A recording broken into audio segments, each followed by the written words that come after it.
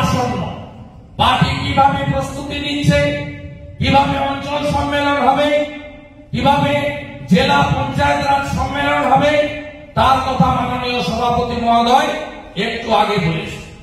আমি শুধু আপনাদের এক নম্বর পয়েন্ট বলি, ভোটার তালিকা। ইতিমধ্যে ভোটার তালিকায় আবেদনের শেষ দিন চলে গেছে অনলাইনে, আবেদন করতে হয়েছে। উইথ ডকুমেন্টারি এভিডেন্স দিয়ে। আগামী নভেম্বর মাসের প্রথম সপ্তাহ থেকে হিয়ারিং হবে।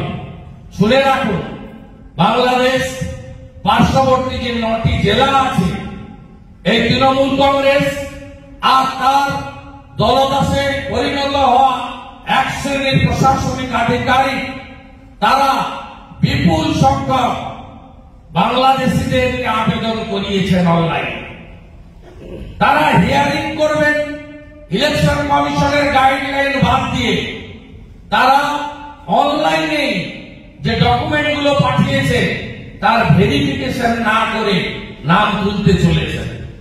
একটা উদাহরণ দিই, বারাসাত এক নম্বর ব্লক। তারা নয় নভেম্বর থেকে তেরোই নভেম্বর শুনানির ডেট করেছেন, কিন্তু অনলাইনে আসা সব ডকুমেন্ট তারা নিয়ে নামগুলো তুলে দেওয়ার ব্যবস্থা করেছেন। প্রত্যেকটা ব্লকে যদি আপনি সতর্ক দৃষ্টি না রাখেন কাজ করবে। আইন কি বলে? আইন বলে যে ডকুমেন্ট তারা দিয়েছেন, তার ফিজিক্যাল ভেরিফিকেশন হবে। হিয়ারিং অনলাইনে ভার্চুয়ালি হয় না।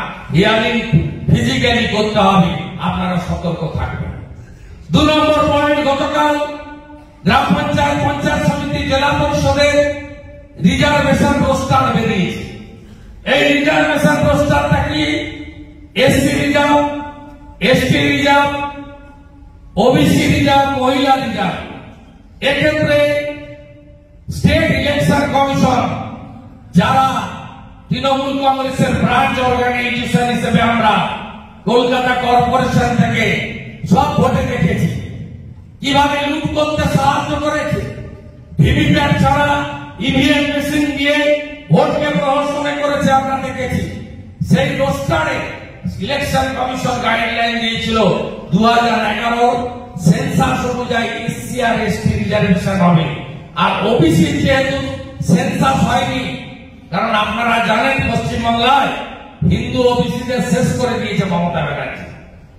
মন্ডল কমিশনের পরে যারা অরিজিনাল ওবিসি তাদের কোন স্থান পশ্চিমবঙ্গে নেই, উনি নিজের মতো করে পুষ্টিকরণের রাজনীতির জন্য আরেকটা ওবিসি সৃষ্টি করেছেন।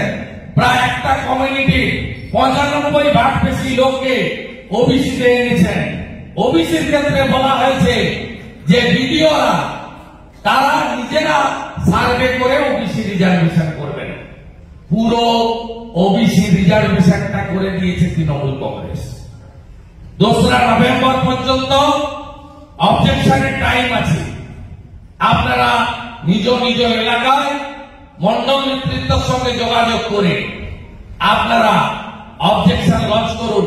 বাকিটা পার্টির লিগাল সেল দেবশ্রী নেতৃত্বে পঞ্চায়েত টিম আপনাদেরকে নিশ্চিতভাবে সহযোগিতা করবে, এটা আমি বলতে চাই। হঠাৎ করে গত ন মাস ধরে চুরি করার দায়ে হিসাব না দেওয়ার দায়ে একশো দিনের টাকা বন্ধ আছে।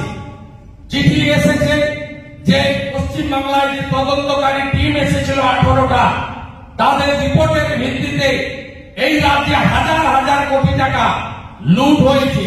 পুকুর নেই, পুকুর কাটার বিল হয়েছে। জেসিবি মেশিন দিয়ে কাজ হয়েছে। বাইরের রাজ্যে থাকেন, তার জব টাকা উঠেছে। আইবিএস এর পানের বরজ গরু কিনে দেওয়ার টাকা লুট হয়েছে। এমনকি কলা গাছের বাগান দেখিয়ে, ম্যানগ্রোভের অরণ্য দেখিয়ে হাজার হাজার কোটি টাকা রাজ্যে লুট করেছে তৃণমূল কংগ্রেসের নিচের তলা থেকে উপর তলা পর্যন্ত আপনারা জানেন।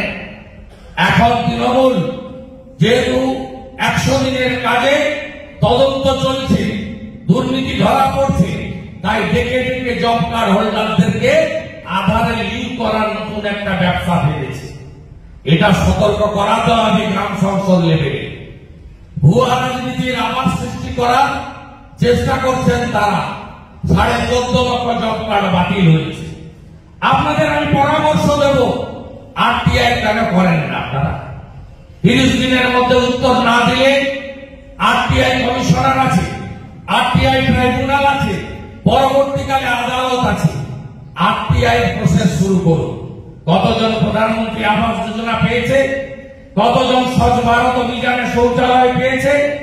কতজন আমফানের ক্ষতিগ্রস্ত টাকা পেয়েছে? কতজন জব কার্ড হোল্ডারে একশো দিনের কাজের টাকা পেয়েছে? সবটা তথ্যের আকারে আপনারা সংগ্রহ করুন। এর সঙ্গে যুক্ত করুন বার্ধক্য ভাতা, বিধবা ভাতা। এর সঙ্গে যুক্ত করুন অন্তর্দয় অন্নপূর্ণা যোজনা।